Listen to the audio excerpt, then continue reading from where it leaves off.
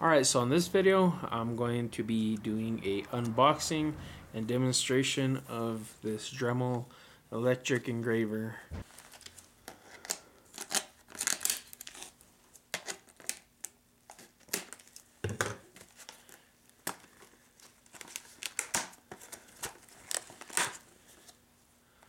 So uh, there it is. It's the engraver itself. A small little number template or uh, number and letter template. Looks pretty cool.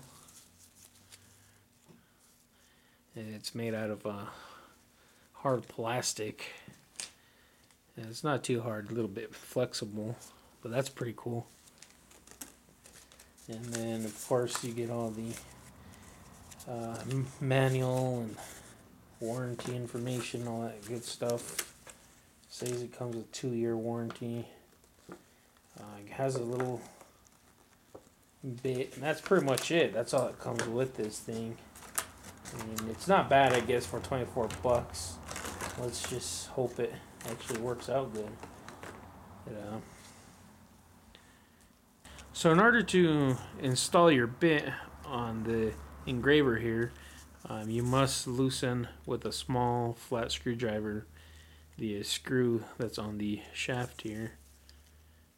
And then I guess you can pretty much just, I guess it only goes in to a certain point and that's it. And then you go ahead and tighten it. I'm going to go ahead and plug this thing in and go ahead and do a small demonstration for you guys. I'm going to go ahead and turn it on break it in a little bit.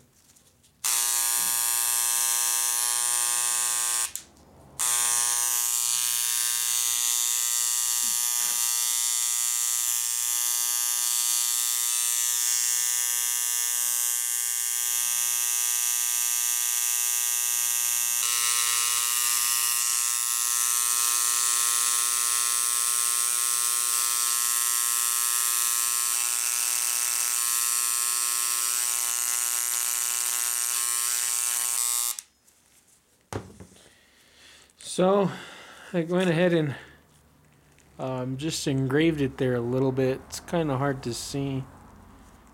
It's really, really hard to see.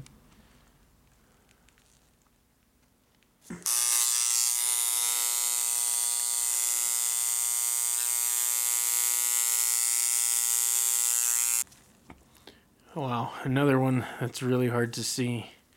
It, uh, it says RFS there for uh, Ray's Fab Shop. Same um, RFS on here. But it does engraving on plastic. Um, it did a really good job on the metal. And it's not a bad little engraver.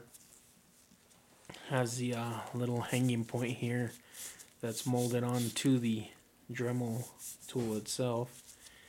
The on and off switch in the back. Five settings. Not bad um, especially for marking up tools.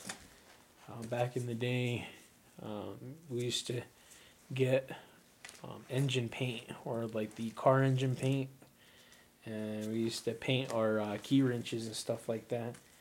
And nowadays, it's better just to engrave it because it's a little bit more hard to remove. That's the Dremel engraver. I want to thank you for watching. See you on the next one.